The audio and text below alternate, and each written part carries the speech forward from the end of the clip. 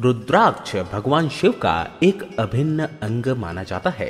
शिव पुराण और श्री मद्देवी भागवत में रुद्राक्ष की माला धारण करने के कई नियम बताए गए हैं।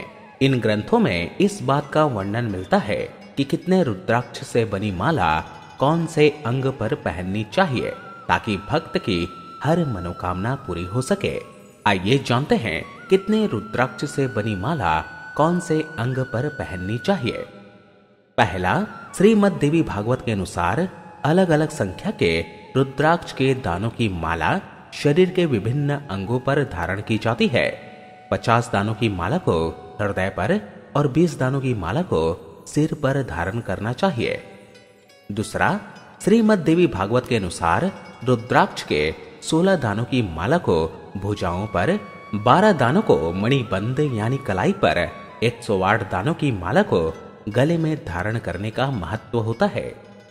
तीसरा, श्रीमद देवी भागवत के अनुसार रुद्राक्ष की 108 माला धारण करने से हर पल अश्वमेघ यज्ञ का फल मिलता है।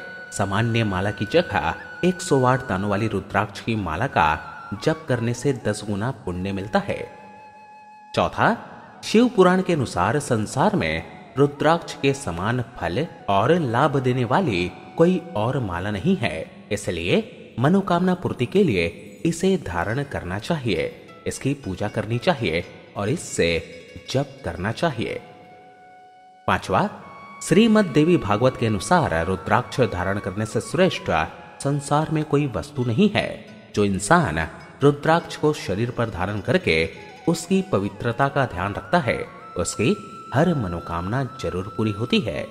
ये तो फ्रेंड्स, जानिए कितने रुद्राक्ष से बनी माला कौन से अंग पर पहननी चाहिए?